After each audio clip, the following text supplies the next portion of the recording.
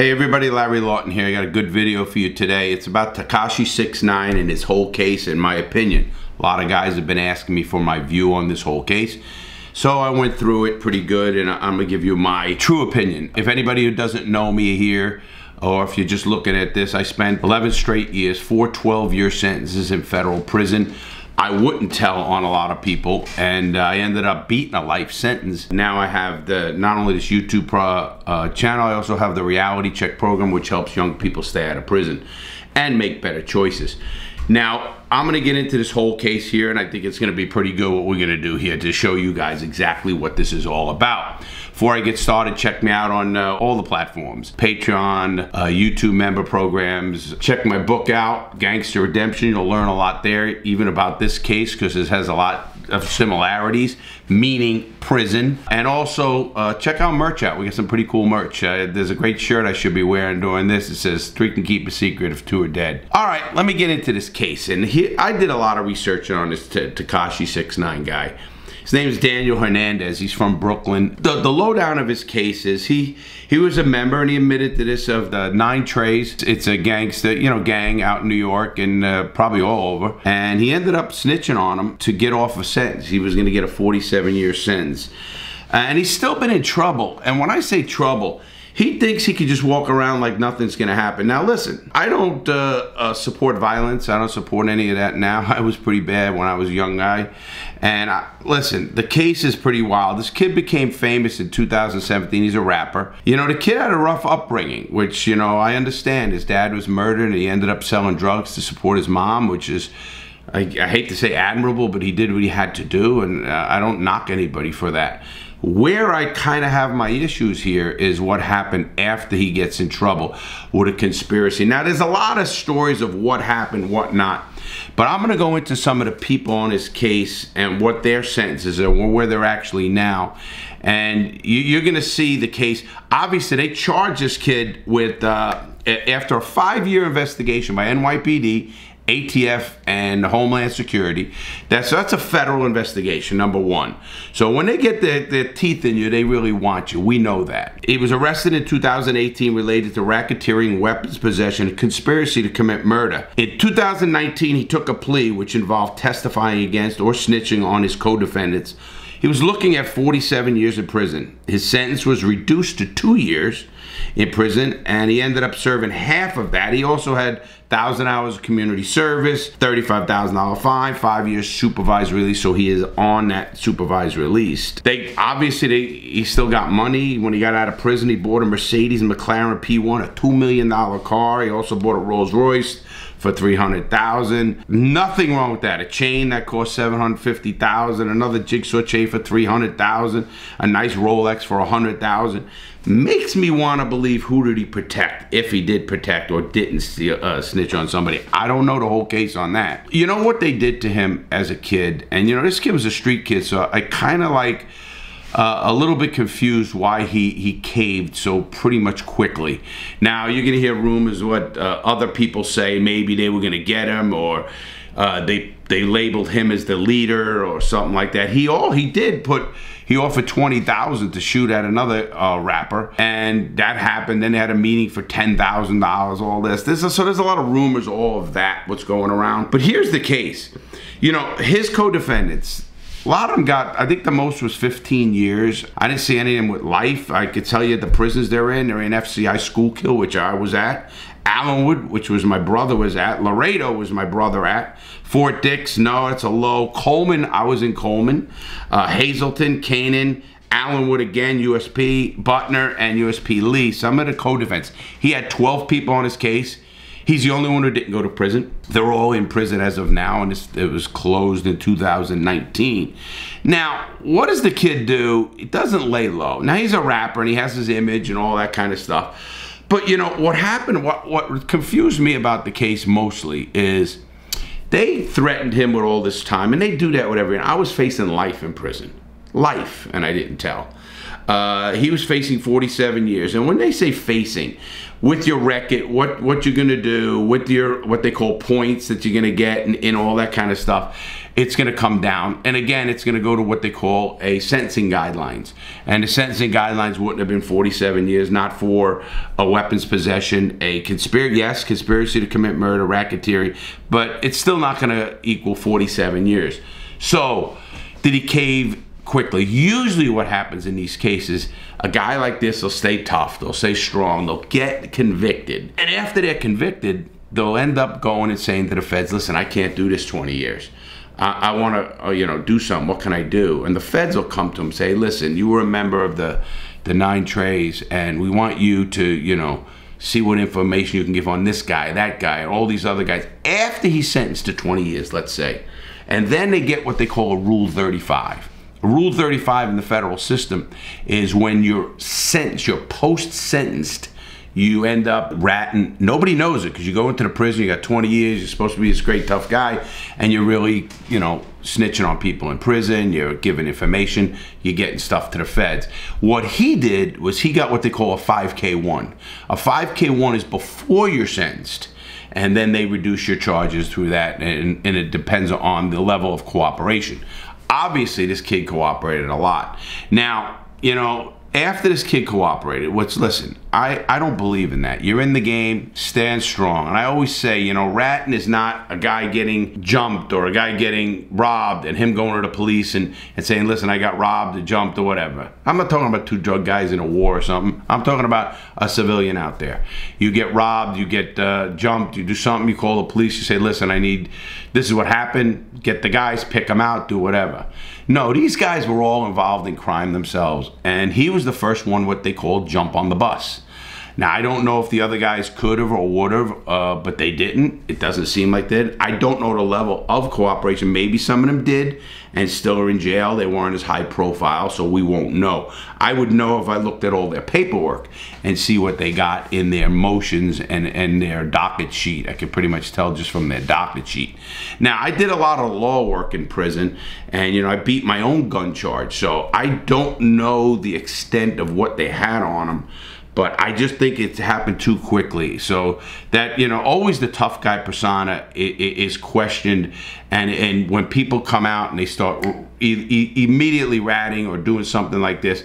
That, that doesn't show me any kind of oh I was a tough guy. Yeah the tattoos don't mean shit to me. It don't mean you're tough. I'm tatted up my whole body. It doesn't mean shit. And, and it's it, it's inside what happens inside. Now here's what this kid does he gets out of prison last year in 2020. I think it was June or July of 2020. And this year in February, he's in a strip club in Miami, and somebody calls, "Hey, you rat, motherfucker, whatever." Obviously, it's gonna happen. He has to run around with security and stuff because this kid is is a target now. Obviously, he's a target. This kid was a high-profile kid that just ratted in the, and he ratted on gang members. I don't know where the, the Nine Treys are, or if they're after him, or who's after him.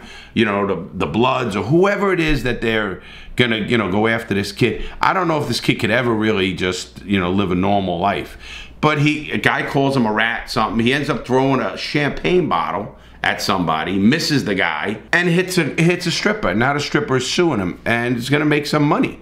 So whatever money this kid has, I don't know how much the lawyers ate up, how much everybody's gonna eat up on this kid unless he keeps, you know, becoming the biggest rapper in the world. And it, it really shocks me because back in the day with Tupac and all those guys, they were stand up motherfuckers, you know? Pitbull, a lot of those guys were stand up dudes. Again, everybody has to live with themselves. Now, as you all know with me, I wouldn't rat. And I had an opportunity to get out in three years and facing life. I ended up doing four 12 year sentences and, and I ended up getting out. And the best thing I ever did was because I got my own integrity. It has nothing to do with the people that I saved. Nothing. It has everything to do with who I am. You know, everybody talks about morals with the religion and this shit. That's not. That's my own. That's my own set of values. My own set of I did the crime. I'm going to do the time. I'm not going to bring anybody else into my case just so I can get out and do it. And I had two young ch- children and I love them dearly and I just saw my grandkids. I had a son who was just just turned 7 2 days before I was arrested and I had also a daughter who was 18 months old.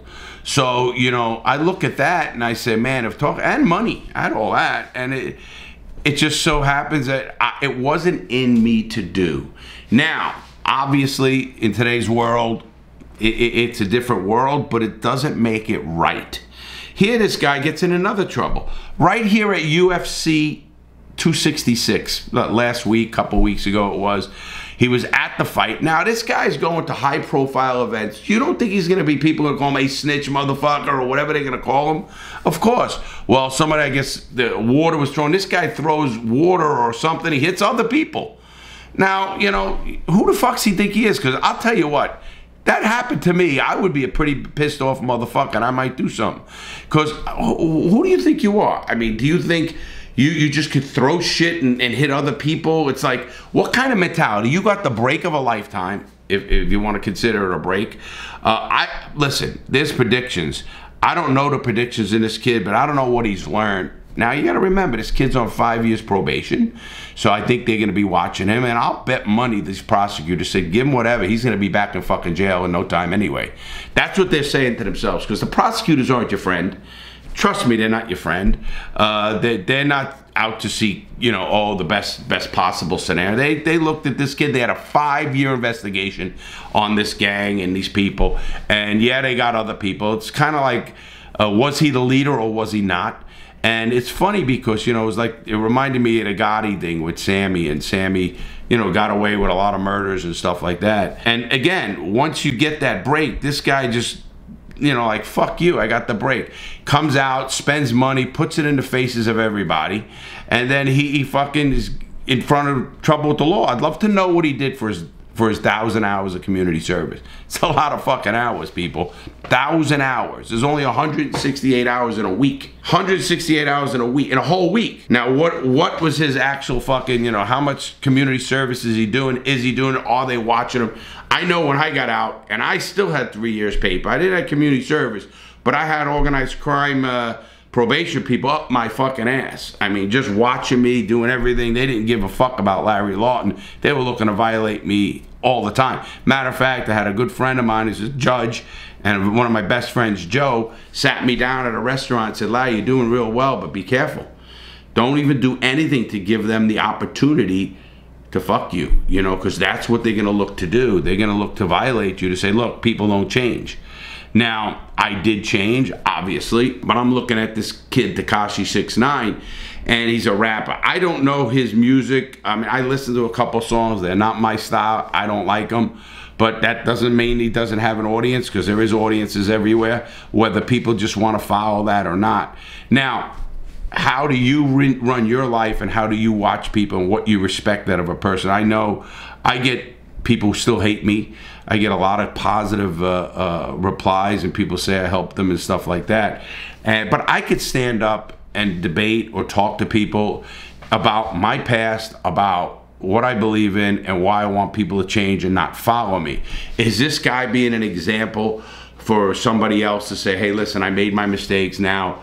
Fucking don't do what I did. I'm not saying not to live, not to go places, but this kid's a target. It's so fresh. It's so in your face. So is he just putting it in people's faces that, listen, fuck you, you're in jail. I was the smart one. I jumped on the bus first. Sadly, you know, a lot of young people do think like that, and I can't stand that because I'm not into that. I just don't like that. I think that's the wrong thing to do. I look at people like this Tekashi Six Nine and say, this is what the problem is with kids. They don't think, or there's no mentors in their life to tell them, hey, listen, you, are in this. Hey, you want to be in the game? Be in the game. But when you get caught, don't be a fucking person like a snitch. But again, I don't know if you can change that or not. I don't know what Tekashi Six Nine is thinking in his head when he goes to bed. I know, you know, I was talking to some people and they say he, you know, he literally has to walk around with ex-police officers and security and stuff like that. Now, you know what's crazy? If this kid doesn't stay on top of the world with his music or whatever he is, he's going to run out of money if he hasn't already. And, and where's he going to be then? You think people are going to be around just protecting him for nothing? That's not going to happen. But he's living the life. He's going to UFC events. He's going to strip clubs. He's doing his thing, and that that's an insult to people in the game. You know, if I was still in the game, I would be. You know, I, I wouldn't know who he was because that's totally not my. Uh, thing or my era, but if I found out about that and I owned the club, I wouldn't even let him in the club get the fuck out of here. You know, you ain't bringing no drama or bullshit to my fucking club. And I don't like the what they did because I'm always a believer in listen, you do the crime, you do the time.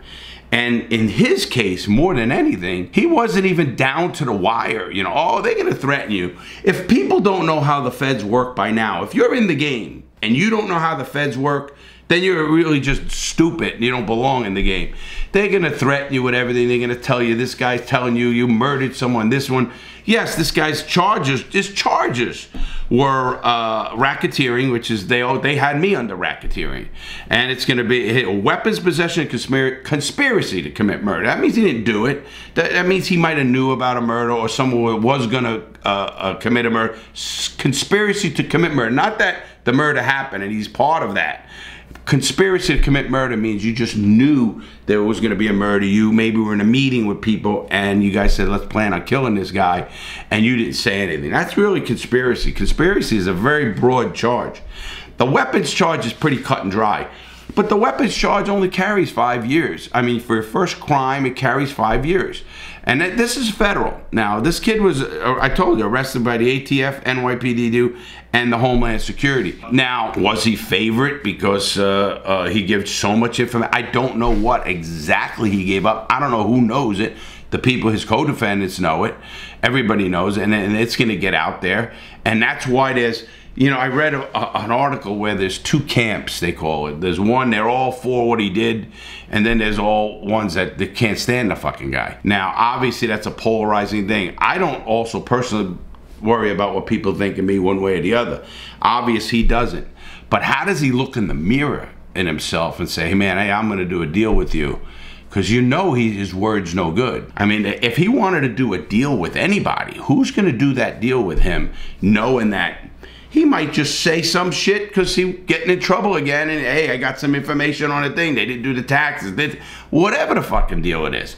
I, I always look at that and say you know how do you want to live your life? You know i know if i do a deal with a person it's a verbal deal it's a, a handshake deal and you could go to the bank with that deal People who know me will tell you that every day. They go, Larry's word means everything. And it does. Maybe it's just the era I come from, but I don't believe that. I deal with a lot of young people right now.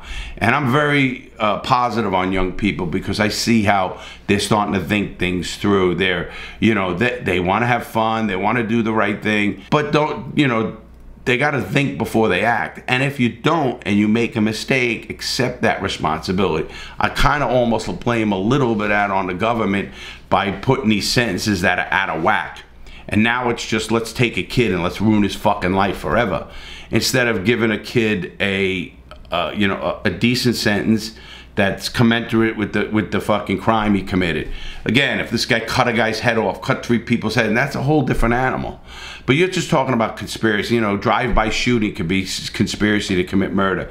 That's a drive-by shooting. Yes, stupid, wrong, can kill somebody, but it didn't. The weapons charge is what these kids are doing. I try to tell young people, fucking, are you nuts? The weapons, that's what the years ago back in the early 90s and stuff, the, the weapons and even the mid 90s, guns were the big, big thing, you know, getting guns off the streets. You know, in today's world, these guys uh, are being thrown at them with, you know, 100 year sentences. Not, not, I was facing life, life. And so it was just the way I was and the way I was built and the way I grew up. And that was look in a fucking mirror. Can you live with yourself? Forget everybody else. I was never worried about someone coming after me and killing me. I was the fucking wild man. Not to say they'll kill you too, don't get me wrong. I was in a, in a rough life. But I look at that and I say to myself, okay, what's wrong with these young people today that they're just quickly either taking that sentence? You know, they threaten them with 47 years and boom, boom, boom, boom, boom.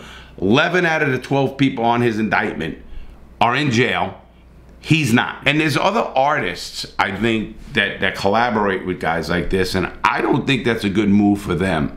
And it's not about you, you don't have to hate them in this, but how do you support them? How does a person's word not count anymore? Whether whoever the, the artist is, how does a person's word not count anymore? And I, I have no problem debating that with anybody or, or discussing that with people because I look at life a whole different uh, way. Maybe it's because I'm older and I know I'm coming to the end of my life. But I was 34 years old, 34 years old when I was I was actually 33 when I was arrested. I, I was 33. I just turned 34, and I had my whole life ahead of me. I had money. I had children. I had houses, boats, horses, homes, limousines, everything. And you know what? All of a sudden, it's all gone. And I wouldn't cooperate. And what did they do to me? They fucking put me in USP Atlanta. They fucking sent me on fucking what they call diesel therapy. They put me all these places that fucking were the worst of the worst. Because they just fucking knew this guy was a fucking jerk off. They ended up even convicting me five years in prison. They ended up convicting me on uh, uh, 18 USC 1001, which filing a false statement to try, try to protect my brother and they did that. And I, I, went above and beyond to try, not just not said anything, I try to lie to protect somebody and uh, it, it's you know they're going to come after you. They don't want you. They don't like you. They're going to do what they can to get you. That's just the way the business is today. Uh, the feds are, and I, I'm a believer against. I told you, and you guys know how I feel. Our whole criminal justice system is broke. It's broke. It's broke from the fucking top down. Uh, it's broke from the sentencing guidelines. It's broke, and I understand why they tried all that shit, but it didn't work. The war on drugs didn't work. You know, the, the, fucking draconian sentences don't work. The fucking prison system, which has no rehabilitation, fucking doesn't work. As far as this kid, listen, he come from a rough, rough background, and, and I feel for that. But you know, it comes a time in your life when you make your own choices. And you got to live with the choices you make. Obviously, he don't want to do that. I respect people who understand the game, stay in the game if they want, and I don't suggest anybody ever stay in the game. Please don't stay in the game. Get out of the game. Life is too short. This kid is not a great example of what you should do. And I think this kid can't sleep. He's probably fucked up on drugs or whatever. I don't know.